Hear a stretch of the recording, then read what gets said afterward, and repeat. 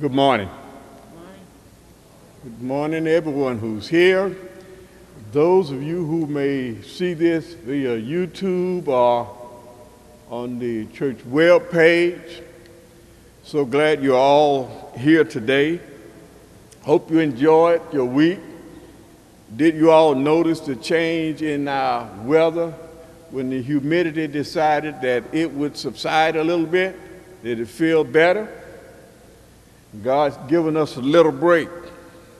Our lesson today will be lesson uh, one for September the 5th, 2021. We'll be in Unit 1 God's People Offers Praise. And our subject today will be celebrating with song. Celebrating with song. The devotional reading today will come from the 105th Psalm, verses 1 and 2, and 37 through 45. Our background scripture today comes from Exodus 1, Exodus 14, 1 through 15, 21. And I printed message for today comes from Exodus 15 and verses 11 through 21. Exodus 15, verses 11 through 21.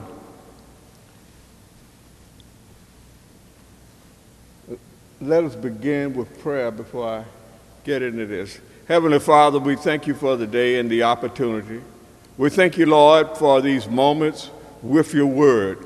We thank you, O Lord, for your very presence as we study. We pray, O God, that you will allow your spirit to reveal the hidden truths that are contained within your words today. Help us to understand what Moses and the people were going through at that time. And give us more clarity, Lord, on what we should do and how we should celebrate you with our praise, with our songs. Thank you, O God, for keeping the church and the church family. Thank you, Lord, for blessing those among us who are sick and those, O Lord, who are caring for their sick loved ones. We pray that you strengthen them and keep them. Bless the man of God of this house and ever bless this house, Lord. Thank you for the 141 years, and we pray, oh God, that you continue to bless us, that we may be a beacon of light in this dark world. In mm-hmm. Jesus' name, God, I pray. And then they had this rabberizer that was bringing about some new language. And so they didn't really believe. But, but, but when God took them all down, he said, in the end, they would realize that I am the Lord. And Miriam, the prophetess, the sister of Aaron, took a timbrel in her hand, and all the women went out after her with timbrels and with dance. And Miriam answered them, Sing ye to the Lord, for he has triumphed gloriously. The horse and his rider has been thrown into the sea. And, and so we see now, after all of this, they began. And it's interesting uh, where it began. It says Miriam did even though the song is accredited to Moses. But it said Miriam struck up a hymn and, and, and the other women followed her and they sang praises to our God. So that's one uh, uh, of the acts of God that brought about praise for his people. There should be uh, some things, according to our lesson, that maybe we should find reason or find cause to be able to sing to God for the things he's done in our lives or the things he does daily. One of the things is just waking us up. And, and, and, and, so then some of the conversations we would be having about songs we would not have. Because the true reason for us singing in a place like this, in a worship center, in a sanctuary, is because we are singing to our God about the great things that He done for our lives. God bless you. I hope you got something, maybe, that might benefit you as you began uh, your days after today and help you to focus on maybe why we really are singing praises. Because God is due all our praises.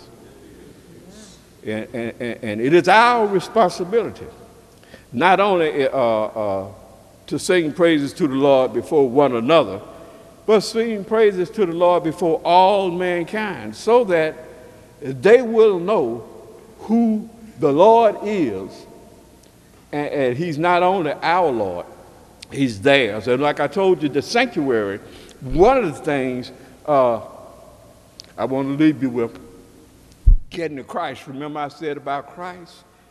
the blood that was shed uh, in Egypt bought the freedom for the Israelites.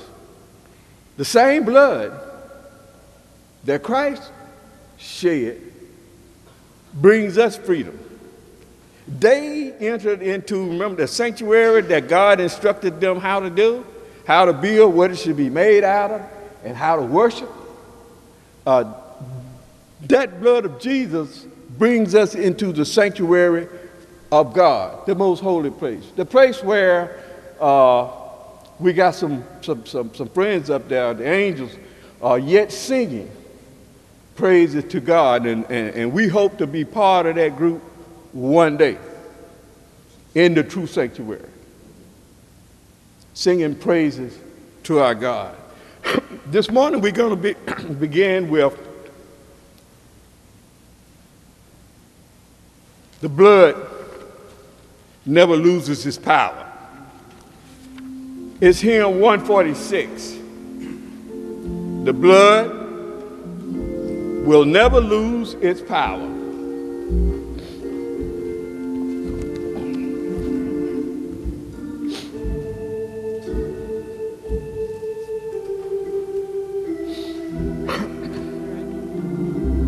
Oh, yes.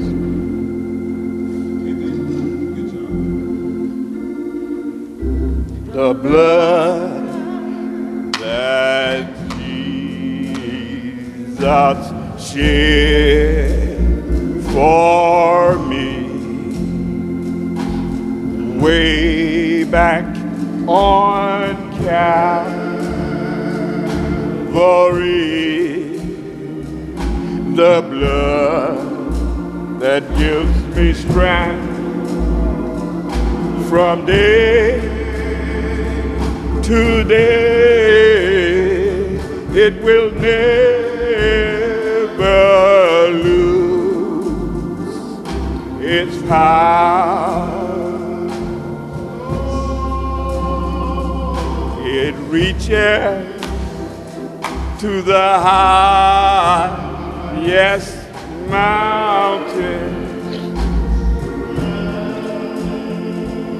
It flows to the lowest valley. The blood that gives me strength from day to day, it will never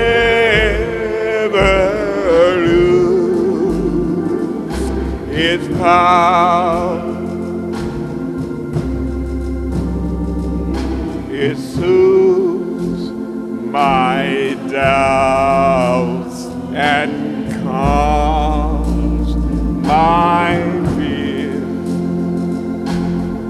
and it dries all my tears. The blood that gives me strength from day to day. It will never lose its power.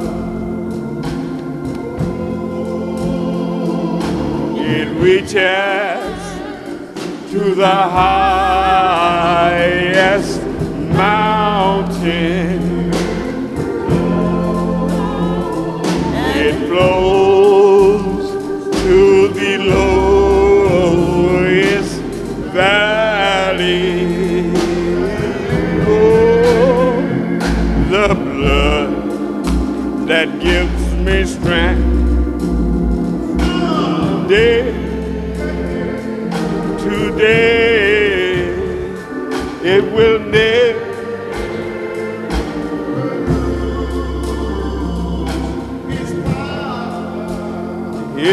will never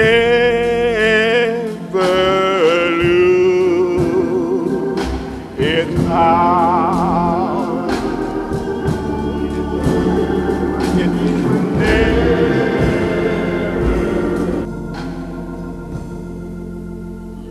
Amen. Amen. Good morning.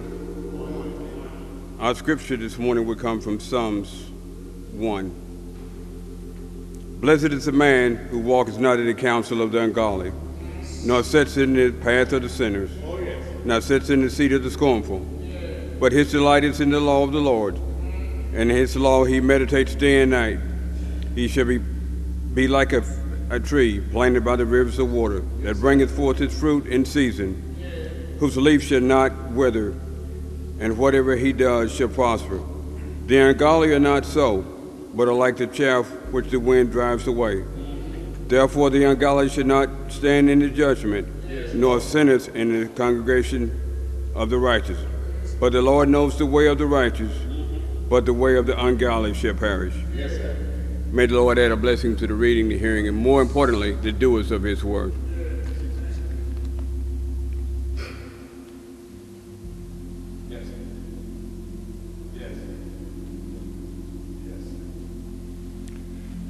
Let us pray. Eternal God, our Father, we come now in the name of our Son Jesus to say thank you for another day's journey, Heavenly Father. Thank you, Father, for allowing us to rise up this morning, Heavenly Father. But not only did you wake us up, Lord, you allowed us to get up this morning, Heavenly Father. But Lord, we realize that there's some woke up this morning, Heavenly Father, but they were not able to get up without the assistance of someone else, Heavenly Father. But you blessed us this morning, Heavenly Father, to be able not only to get up, but to come to the house of prayer one more time, Heavenly Father. So we said thank you this morning, Lord. Thank you for this blessing, Heavenly Father, that thou hast bestowed on us this morning, Lord. Ask, Lord, that you will bless all that have come this morning. Bless those who have left their different homes once again, Lord, to be able to come to the house of prayer one more time, Heavenly Father. Bless those, Lord, who had a desire, Lord, which we know there are many, Lord, who had a desire to come this morning, Lord, but was not able to come this morning, Heavenly Father. But, Lord, we come this morning to uplift our holy name. For truly you're worthy this morning, Lord, for you brought us from the early existence of our life, even when we did not know you, Lord. Deep in sin, thou commanded thy love toward us, Heavenly Father. So we just come this morning just returns from humble thanks, Lord, saying thank you for being mighty good to us, Lord. Lord, we ask you to continue to bless us and keep us, Lord. Bless those that are sick among us, those in the hospital, nursing home, Lord, and those who are sick at home. But Lord, we ask that thou would just go in. But we realize this morning, Lord, if you'll just send forth your word, for there's healing in your word, there's deliverance in your word, there's saving power in your word. Lord, send forth your word this morning, Lord, and help us, Lord, to hide that word in our heart, that we may not sin against thee, Heavenly Father. Lord, we ask this morning that if it be thy will, Lord, continue to bless our children, Heavenly Father. Help us to be good examples unto them, Heavenly Father. Help us to walk upright before them, that they may see thy good works and glorify thy Father which is in heaven. Lord, help us this day, Lord, to be able to do those things which you have so charged us to do, Lord. Help us this morning, Heavenly Father, for we need you, Heavenly Father. For we're living in a mean world, Heavenly Father, where man would rather do wrong than to do right, Heavenly Father. But we look to the hills from which forth cometh our help. All of our help come from thee and thee alone this morning. So we said thank you this morning. Thank you, Lord, for allowing us once again to be able to come into this house, Heavenly Father. Realize, oh Lord, that there was time when we were not able, Lord, but you have blessed us this day, Heavenly Father. So, Lord, we ask you to bless your servant this morning who will proclaim your word unto your people. that we not only be healed, Lord, but we be doers of your word, Heavenly Father. Help us today, Lord, to go into the hedges and highways and compel mankind, Lord, to come in. For there's safety in the house. There's love in the house. There's joy in the house today, Heavenly Father.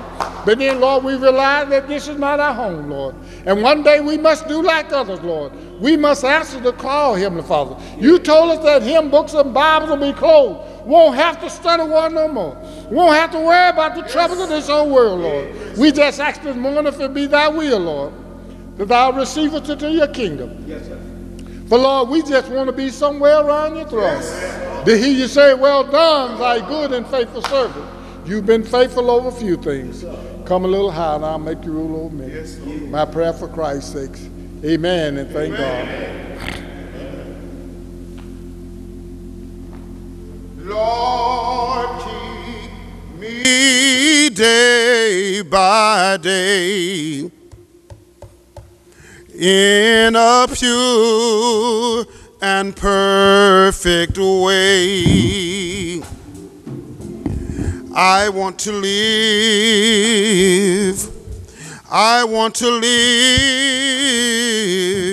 in a building not made by hand. Hit me with one time. Lord, keep me day by day in a pure and per. Come on, you know that. I want to live. I want to live in a building not made. Just one more time. Mm-hmm. Lord, keep me day in a pure and pure. I really want to live. I want to live in a building. Will you pray with me? Father, in the name of the Lord, we thank you. You brought us here. Our times are in your hands. We thank you for everything you've allowed us to endure and encounter. We thank you for the rivers and the valleys, the mountains and the peaks. God, we thank you for the good and the bad. We thank you in life. We thank you in illness. We thank you for it all. Now, great and awesome God, we pray now in the wonderful name of Jesus for just a touch. For we know that a touch from you will cool our scorching fevers. It's a touch from you will cause dungeons to shake and chains to fall off. Just one touch from you will open blinded eyes and unstopped ears. God, just one touch from you will heal what troubles us the most. Touch in the name of Jesus. God, I pray now for that that man, that woman, that boy, that girl, standing at the crossroads of confusion, not knowing which way to turn. Oh God, help them to realize that they have a soul to save or one to forever lose. God, I pray for the careless and the unconcerned. I pray for the sick and those who are wrestling to recover. Oh God, in the wonderful name of Jesus, I pray that you will give us a glimpse of your glory. Allow us to come as close to you as we can stand it. Forgive us of everything that we have ever done wrong. Pray now, God, that we stand before you faultless to receive your great grace. God, I pray for that mother, that, that father who has had to say uh, farewell to a son or daughter because of the present pandemic and situations. God, I pray right now for the bereaved that you would bind up their broken hearts and help them understand that earth really do, earth has no sorrows that heaven cannot heal. Bless the congregation. Bless those who joining us by airwaves. Bless those who had a desire to be here but not able to make it. God bless us in ways we've not even sought to ask you. And we've done everything that you have assigned us to do down here. Pray that you'll find something in our lives so pleasing that you will give our souls a smooth and easy admittance into eternal favor. We pray this prayer in the wonderful name of Jesus Christ, who is our Lord and Savior. Thank God. Amen. Good morning, my brothers and sisters. I greet you in the wonderful name of our Lord, whose love has no limits, whose grace knows no measure, and whose powers no boundaries known unto men. Didn't God, I love it. I love, I love the teaching. That he, he, he's a good teacher. Can you say amen? amen. And um, I feel like those of old who said of Jesus, did not our heart burn within while the man of God spake with us by the way and open to us the words of life. Thank you for clarity and thank you for a clear um, expository teaching. My friends, I want to solicit interest in your attention to the book of Philippians, chapter 3. Uh, the book of Philippians, chapter 3, which is a very familiar passage of scripture. I want to begin reading with verse 1 and make our way down to verse 11. Amen. Although we'll settle down on verse 10. Philippians 3, a very familiar passage of scripture, one of those passages of scriptures that we probably grew up uh, reading and studying in revivals when I was really young.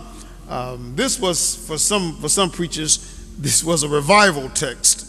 Uh, the, the thing about the gospel of Jesus Christ is that it is self-revelatory, and God reveals to us that which God wants us to know um, at the time we need it the most. Philippians 3, beginning with verse 1, and our celebration text will be verse 10. We'll make our way all the way down to verse 11. Finally, Paul is writing, finally, my brethren, rejoice in the Lord. Finally, my brethren, rejoice in the Lord. To write the same things to you, to me indeed is not grievous, uh, but for you it is safe. Beware of dogs, beware of evil workers, beware of the concision for we are the circumcision, which worship God in the Spirit and rejoice in Christ Jesus and have no confidence in the flesh. Though I might also have confidence in the flesh, if any other man thinketh that he hath whereof he might trust in the flesh, I more. Circumcised the eighth day of the stock of Israel of the tribe of Benjamin, and Hebrew of the Hebrews. As touching the law, a Pharisee. Concerning zeal, persecuting the church. Touching the righteousness which is in the law, I'm blameless. But what things were gain to me?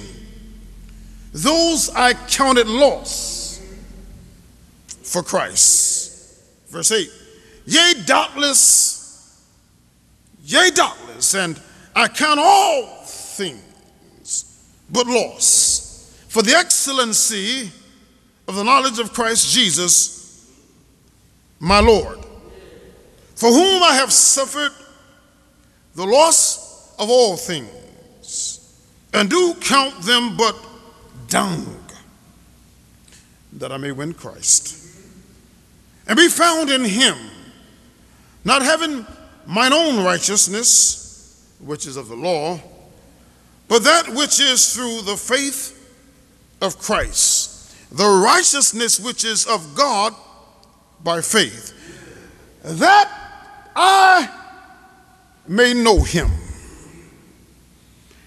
and the power of his resurrection and the fellowship of his sufferings being made conformable unto his death, if by any means I might attain unto the resurrection of the dead. Ushers, please, you may be seated. Uh, first things first. I want to talk briefly.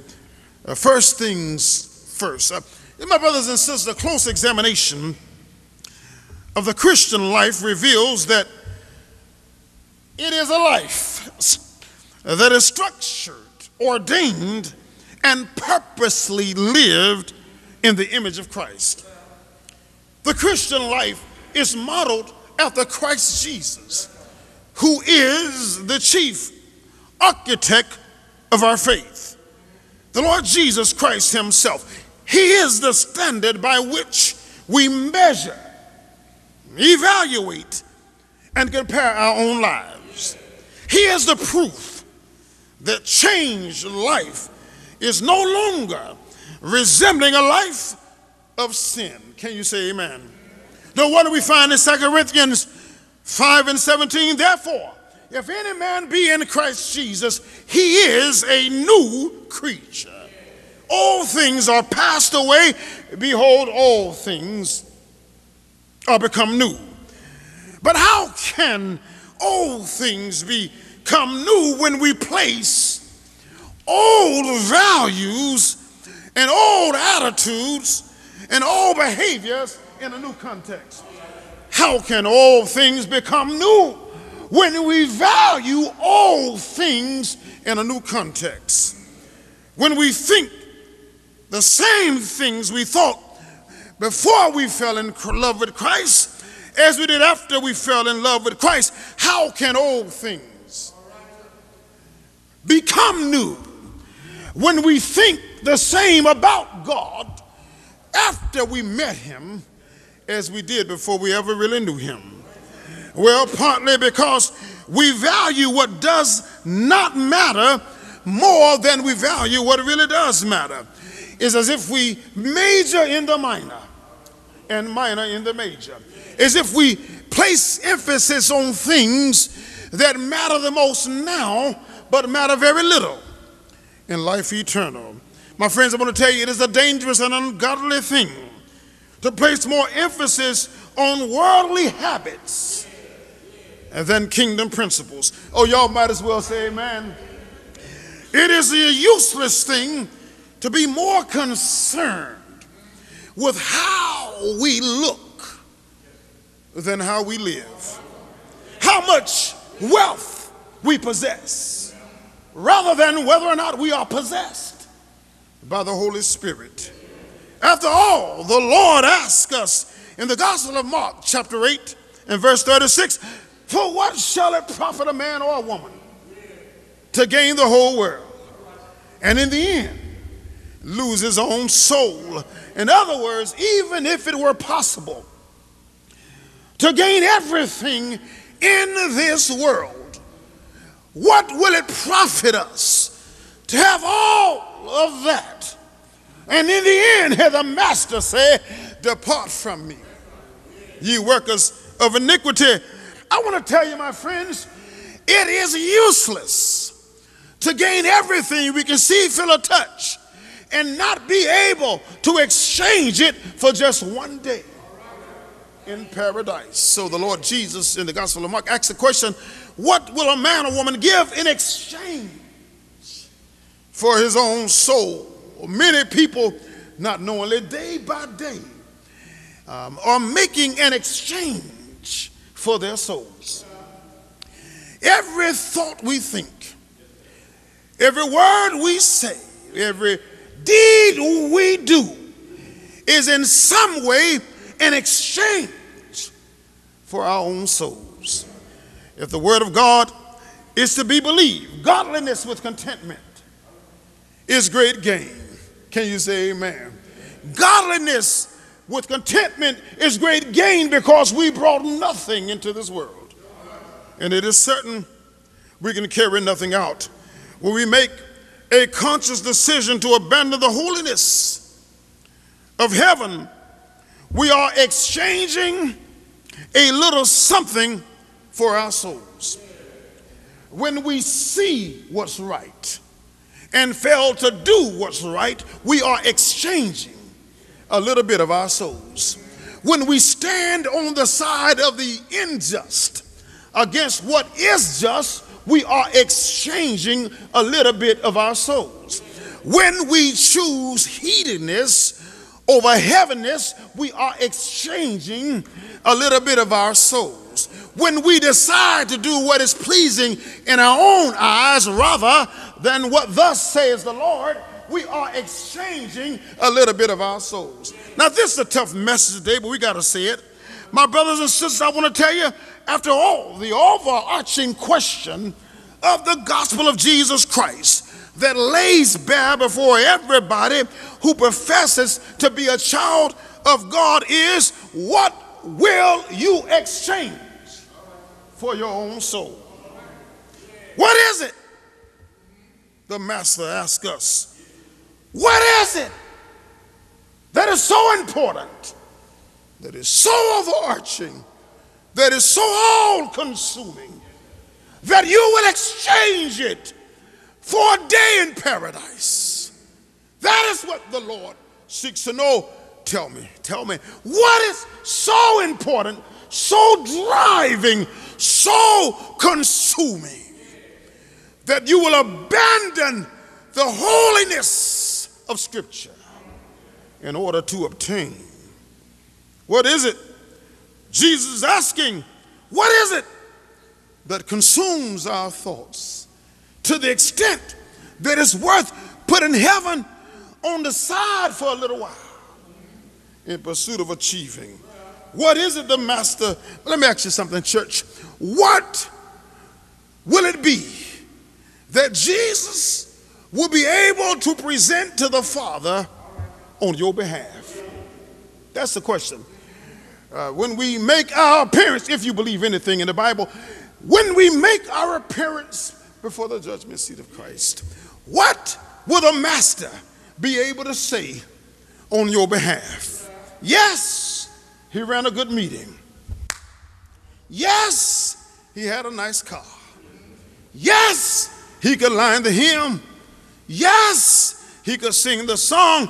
I want to tell you, my brothers and sisters, those things will not be what you will need said. The only thing you will need to hear the Lord say is, Well done. What will be your theme in glory? What are the works that will bode you well when you stand before the Savior? Will Jesus be able to boast about anything that you have done while you were on this earth?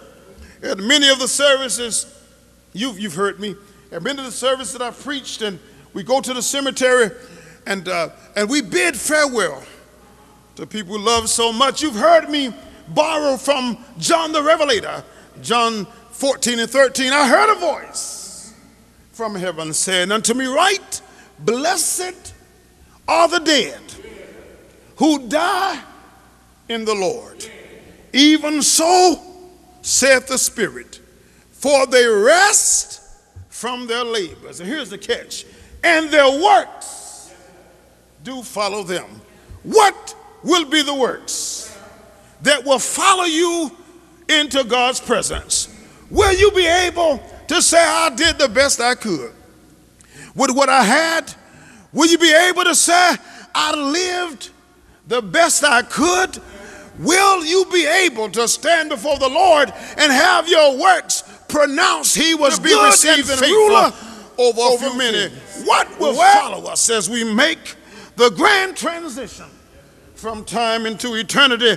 It will not be the earthly toys that we possess the accolades that attach our names, the trophies we have gained, the wealth we have laid up, the positions we have held, the battles we have fought, or the popularity we enjoy. It is no wonder that in Colossians 3 1 and 2 reminds us if ye then be risen with Christ, seek those things which are above, where Christ sitteth on the right hand of God. He's on the right hand of God to make intercessions on our behalf.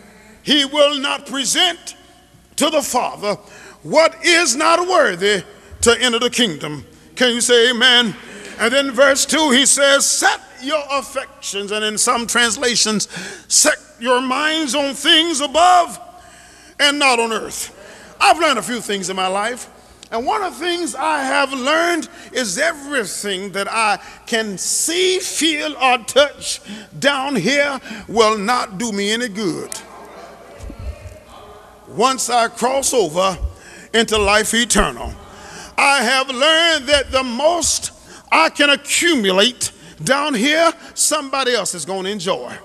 I have learned that no matter what people think or say about me, in the end, what matters is is the Lord pleased with my service? Can you say amen? Uh, that might be what inspired Raymond Rasberry when he wrote, You may build great cathedrals, large or small.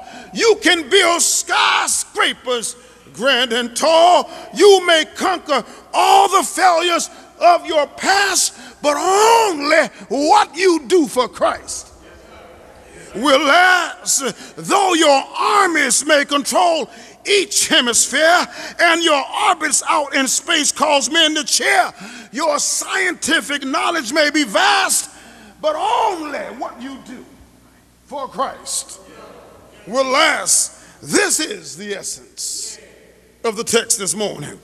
To always remember, church, and never forget why it is that we sing our songs. Huh? Why it is that we come out to church every Sunday. While the deacons lead devotion, while the musicians play the music, while the choir sing the anthems, and while you sit in the pews.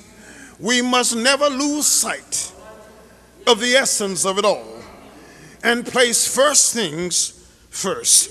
Can you say amen? We must always remember that after we've raised the, the largest amount of money, after we've had the grandest of celebrations, after our service has garnered much attention, the question is Is God pleased with your living? I wish y'all help me preach here today. The question is not how well we look in the presence of men, but are you living a life that is so worthy in the eyes of the Lord that Jesus can stand before the Father and say, Here he is. He's come through many hard trials, he's come through many tribulations. His robe has been washed in the blood of the Lamb. He's had days of rising and falling, he's had victory and defeat. But through it all, he learned to trust in you, oh God. And I present him to you faultless and blameless and ready to receive your great. This is the essence of the text. If you look at the text, you'll find Paul. The look at the text. If you Apostle Paul here in Philippians 3, he's writing this letter to the church at Philippi. Three things that jump out. First, he begins by noting his position. Oh, yeah. And then he moves from noting his position to noting his achievements. And then he concludes by making a reference to his power. Look at the text, if you will.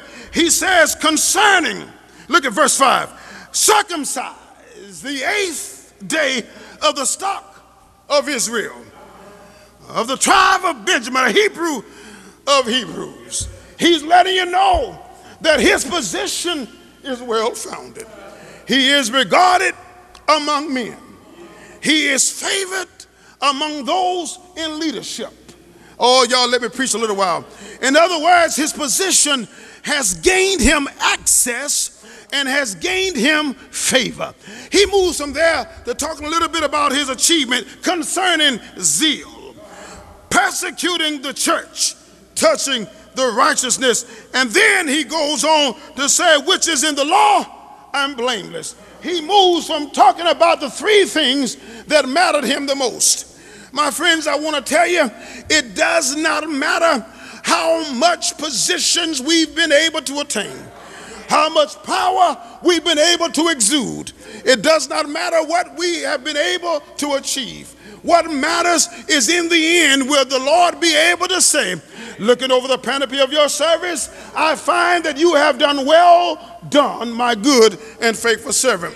But Paul, the apostle, does what many of us has done after he has spent these years moving about all over Palestine. He, he had accomplished so much. He had the favor of kings. Matter of fact, if you look at Acts chapter 9, you will find that not only did he have the favor of leadership, but he had the authority and the power to act on their behalf.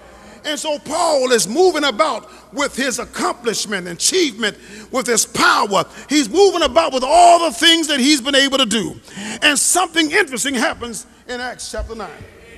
What happens in Acts 9, telling his own words, Saul says, I was on the road and I was headed to a very prosperous location. I was headed to a place called Damascus. And while I was on that road to Damascus, something interesting happened to me. Something I did not anticipate. A light shone down from heaven. In the original translation says, I was blinded by a light that surpassed what I had expected. And the light shone down from heaven and said, Saul, Saul, why persecuted? What have I done to you? What wrong have I done? Saul, oh Saul, as you are moving on your way to elevation and recognition in the eyes of the king and others, what unjust thing have I ever done to you? He looks up, recognizing the voice of the Lord, because the Lord's voice is uh, so recognizable that even a fool cannot mistake it. And he says, Who art thou, Lord? And the voice comes back and says, I am he. You're on your way to persecute. Now, friends, something interesting happens here. As Saul encounters Jesus, he is encountering the resurrected Jesus. He is encountering Jesus who has all power, not only to heal on this side, but to receive on the other side. And so something interesting happens. Saul begins a massive transformation. For 30 long years, we don't hear much about him for 30 long years. His achievements, his position, and his power for 30 long years. Those who had praised his achievement for having sat at the feet of Gamaliel in North Africa, those who had praised his achievement, who noticed that he studied at the finest schools of Carthage located in North Africa, those who had praised his achievement had now abandoned him. Not only that, but his position, he was key to the king's program. He was zealously willing to do the work that nobody else would do. He was willing to do the politically unpopular thing and persecute the church. God, I wish y'all let me preach. He was willing to do it with zeal. He not only was willing to do what nobody else would do, but he gladly did it. He said, concerning the church, I persecuted it with zeal. But then look at his power. His power has now vanquished. He who once was on his way to persecute Christians and put them in chains is locked in a Roman jail. He was on his way to put the church in chains. Now he is chained to a Roman soldier. I want to tell you that God has a way of turning things around when it will promote his kingdom and advance his cause. God will take the high and make them low. He'll take the low and make them high. And so here he is now, 30 years later. He's sitting in a Roman prison and he looks at his resume and he says, I've seen a lot of things. I have accomplished a whole lot. I have sat at the feet of Gamaliel. I was qualified to teach in Harvard University concerning the Pharisaic law. I was a Pharisee among the Pharisees. I could quote the scriptures from beginning to end, but thanks be to God. Something happened to me. Is there anybody here today who can remember the day that something happened to you. He says, I was on my way to persecute the church, and a light shone down from heaven and blinded me and knocked me off of my beast. Now, something interesting happens here, church. He says, Look here at my resume. I am a Pharisee among the Pharisees. Now, in today's translations, we have a very negative impression of the Pharisees. But in those days, a Pharisee was really somebody who was well versed in the law. Can you say amen? They had a legalistic mind. They, they knew how to go to the protocols. They were concerned with making sure things were decent and in order.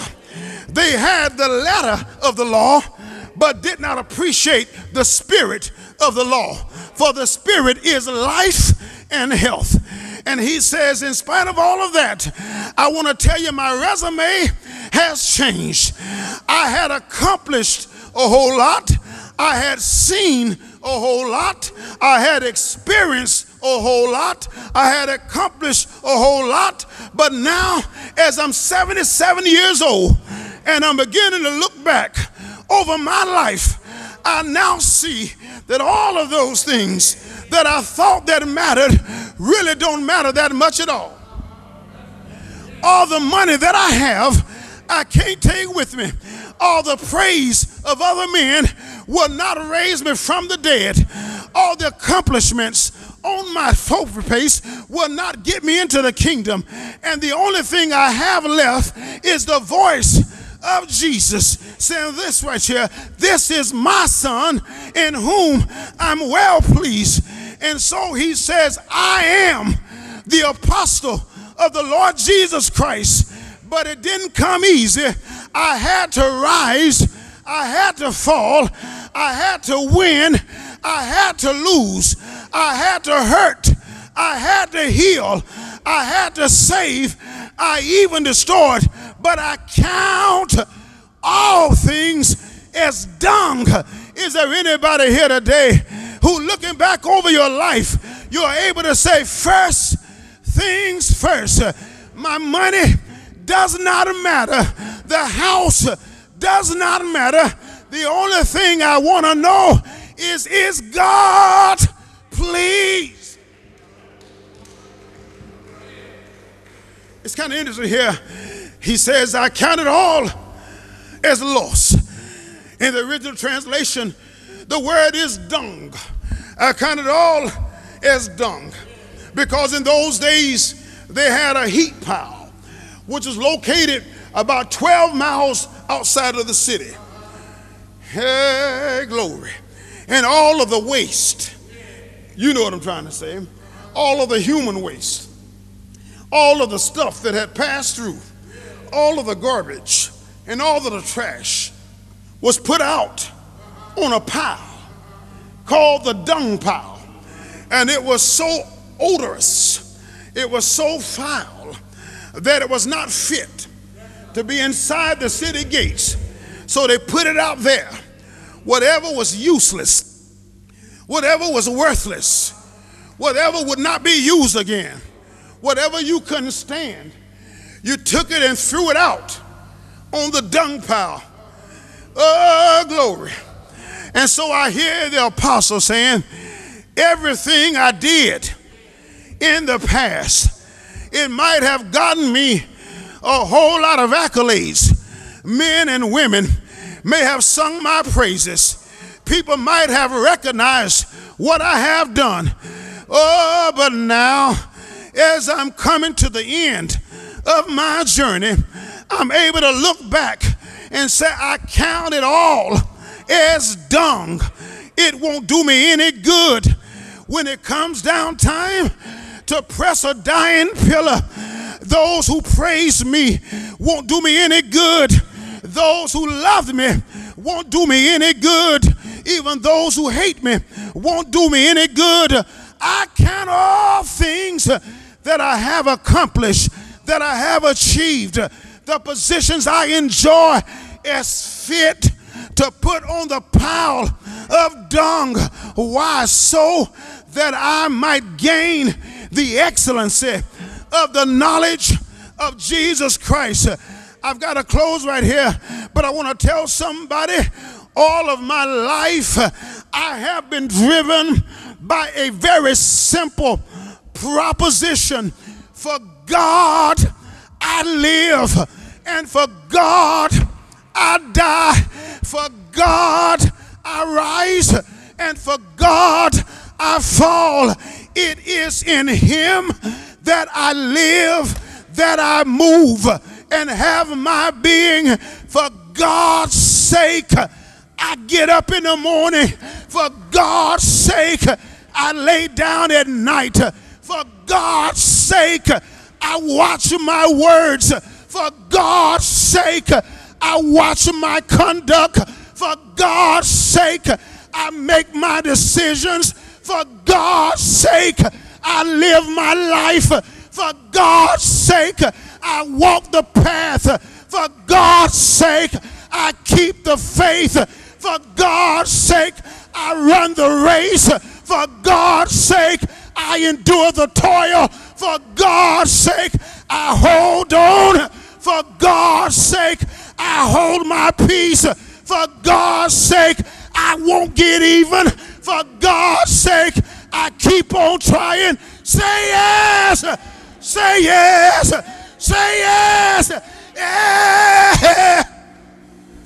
I have a very simple proposition. It is because I want to obtain the excellency of the knowledge of Jesus Christ.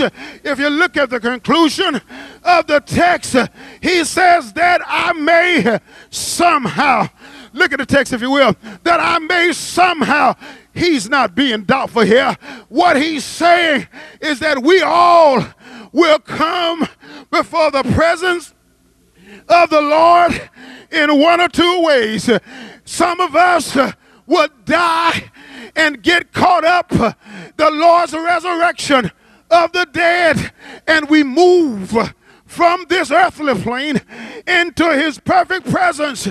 But there will be some of us who are alive and remain until he comes, Rapusa. We shall be caught up to meet him in the air. And so, what he's saying is whether I die in early death or live a long life, one way or the other, I am, I am determined to, to make heaven my home. Can you give me about three minutes, y'all? I can remember when I was about 12 years old, I went off to a little country church and the preacher was preaching. And when he finished, he preached about a place called heaven. And he told me that over there the streets were paved with gold. And over there, there are leaves for the healing of the nation. And over there, the wicked will cease their troubling ways, and weary souls will finally be at rest. And ever since that day, I have been determined to make heaven my heavenly home. I ain't always right, I'm not always perfect, but God knows I always try. I don't win a hundred every time, but I try. And he says, one way or the other, whether I die right now or live until he comes, I am determined to go back to meet him when he comes. Is there anybody here who is determined to make heaven your everlasting home? 17th Street. Put first things first. Put first things first. Don't worry over small, insignificant, minor things. Don't lose your faith over personalities.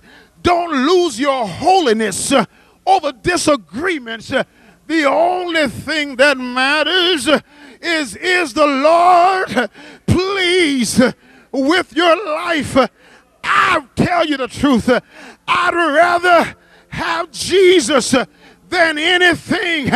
I'd rather be his than have houses and land. I'd rather be in love with the Savior than in love with power. Because when it's all over, I want to hear him say, Well done. Well done. Well, well done. I'm through, y'all. I just got one question. Is the Lord satisfied with your life? Is he satisfied with your conversations? Is he pleased with your motivations? Is he pleased with the private conversations? Is he satisfied with your doings? Does he get any glory from what you say? Can he be seen in how you think? Can he be felt in how you move? I gotta close here. I don't know when I'm gonna. I'm gonna tell you this. I just want to live so God can use me anytime, anywhere, whether it be here or elsewhere. I want my life uh, to be an example of God's promise of His grace, uh, I want to put first things first. The building will dissolve. Everything we see will turn to clay. Only what you do for Christ will last. Nobody, nobody, nobody, nobody, nobody, nobody will be able to stand before the judgment seat on your behalf. Nobody, nobody. No pope, no president, no priest, nobody will be able to stand before, before God on your behalf only Jesus, who is the only intermediary between God and man. The Father stands and he he looks at you. He looks at you. Every word. He looks at every thought. He reads the contents of our heart. God sees not as man sees. Man sees the outward appearance, but God sees. He looks at the heart. And everybody and everything we thought mattered won't be there. You and the Father. And all of a sudden, Jesus steps in the middle. And it is He who will present you faultless before the Father's throne. If you are faultless, if you are not, He'll say, Depart from me, ye workers of iniquity. You know, I don't preach a lot of jeremiads, but we have to put first things first. In the ordinariness, the religiosity of church, we focus on institutions and systems and buildings and forget the foundational purpose of being here is for salvation of the soul. That's what it's about. It ain't about who's over something. It's not about who gonna tell somebody. Are you saved? That's what's important. We lose sight of so much. We don't want our church to be the church, the seven churches, but the fifth found in the book of Revelation, the church of Laodicea, who said, We are rich and increased with goods. We don't need nothing. We're paid for. We can meet the payroll. We don't need nothing. and then the voice that sends from heaven through John says, Know you not that you're poor, and miserable, and blind? Because you're focusing on things temporal rather than things eternal. You don't evaluate the strength of a church based off who does what.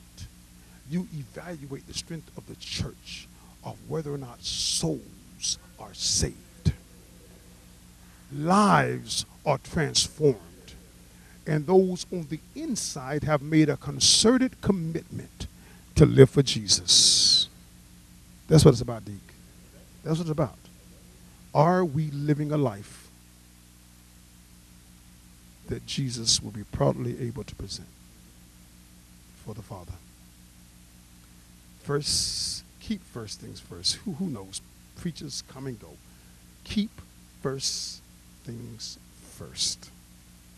If you do that, you'll make it into heaven. Can you say amen? My faith looks up to thee, thou Lamb of Calvary, oh, Savior divine. Now hear me while I pray. Take all my guilt away. Oh, let me from this day be wholly thine. May thy rich grace impart strength to my fainting heart. My zeal inspire as thou hast died for me. Oh, may my love to thee pure, warm, and changeless be a living fire. Let me do the last verse. When life's dark maze I tread and grief around me spread, be thou my guide. Bid darkness turn today. Drive sorrows, tears away. And let me safely oh, around summed soul. I want to present an invitation to discipleship. If there be one who desires the leadership and the lordship and the loving kindness and the favor that comes with the relationship, I invite you to step out and receive him to your eternal salvation. It is he. As thou hast died for me, oh, may my love to thee pure, warm, and changeless. Hallelujah. Won't you come now as we continue with our communion service from the top, Dr. Collins?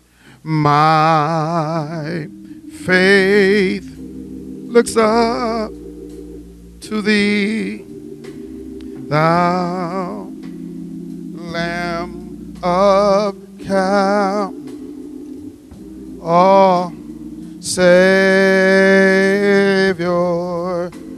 divine.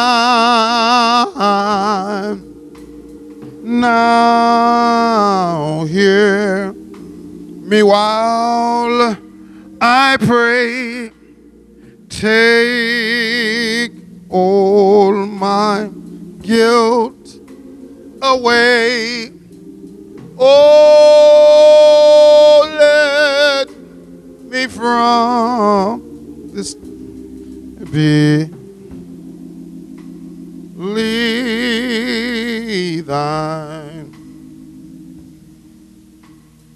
When life's dark maze I tread, grief all around me spread. Be thou my God. Be darkness turn today, dry sorrows, tears away. Uh, land me safely over and my brothers and sisters, in the same night in which our Lord was betrayed, he took the bread and after he given thanks, he blessed it, gave to each of those disciples around the table, saying, This is my body, which is shed for you and for many.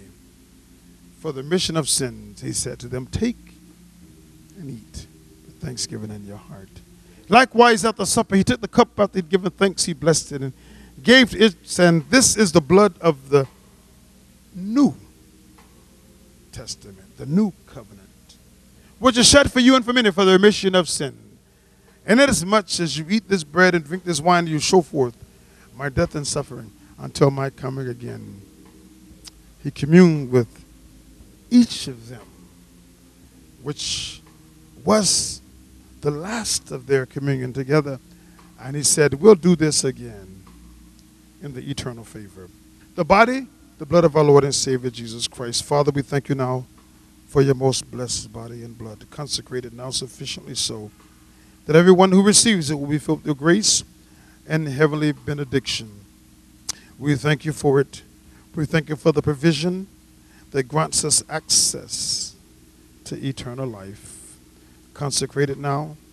We move against any sin or any impediment or anything that would cause us to eat or drink unworthily, thereby eating and drinking. Damnation to our own souls, not discerning the Lord's body. Blessed and all those who will receive, that they will take it by faith. In Jesus' name, amen. Drinking of the wine, wine, wine. Drinking of the wine, wine, wine. You ought to been there ten thousand years. Drinking up Oh, drinking of the wine, wine. Oh, drinking of the wine, wine. Oh, you ought to been there ten thousand years. Drink. Oh, drinking of the wine, wine. Oh, my Lord drinking of the wine, wine. Whoa, you ought to been there 10,000 years. Drink. Oh, if my mother should look for me, tell her death has set me free. You ought to be there 10,000 thousand years drinking up. Oh, drinking of the wine, wine, wine. Oh, drinking of the wine, wine. Oh, you ought to have been there 10,000 years. Well, there ain't but one thing that I done wrong. I stayed in sin just a little too long. You ought to been there 10,000 years drinking up. Oh, drinking of the wine, wine. Oh, God, drinking of the wine, wine. Oh, you ought to be there ten thousand years. Oh, drinking of the wine, wine, wine, a drinking of the wine, wine. Oh, my Lord Jesus ought to been there thousand years. Oh, Jordan River, chilly and cold, should my body, not my, oh God, you ought to be there 10,000 years. Oh, drinking of the wine, wine, oh Lord, drinking of the wine. Whoa, you ought to been there thousand years.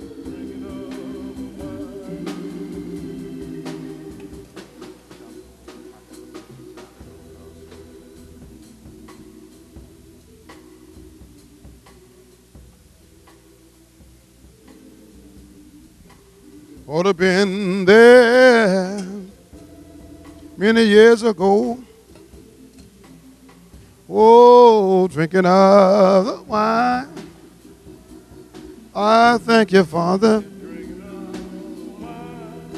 Of the body of our Lord and Savior Jesus Christ, given for you and for me for the mission of our sins.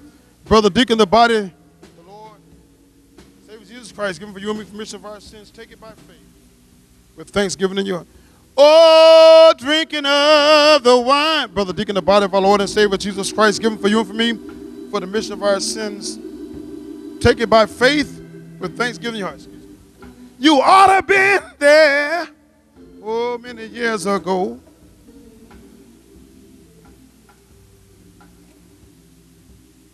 Amen. I don't have fingernails, so it normally takes me a little longer. Let me do this. King of my life, I crown thee now. Thine shall the glory be. Lest I forget the Calvary.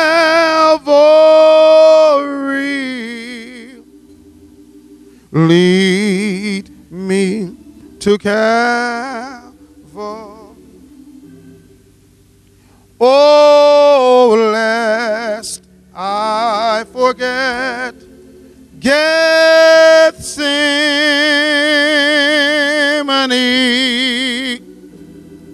lest I forget thine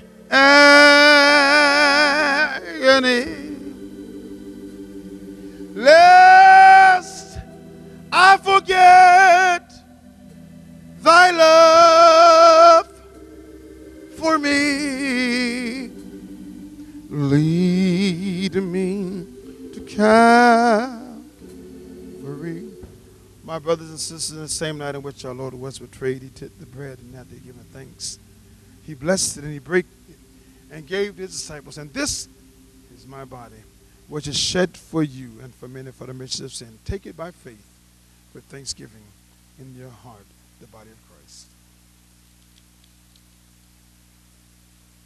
Likewise, after supper, he took the cup and he gave thanks, he blessed it and gave to every one of his disciples. And this is the blood of the New Testament.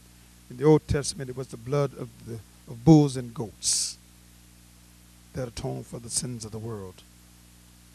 But after Christ, it was the blood of Christ that atoned for our sins. This is the blood of the New Testament, which is shed for you and for many for the remission of sin. Take it by faith, with thanksgiving in your heart, the blood of Christ. King of my life, I crown thee now. thine shall the glory be.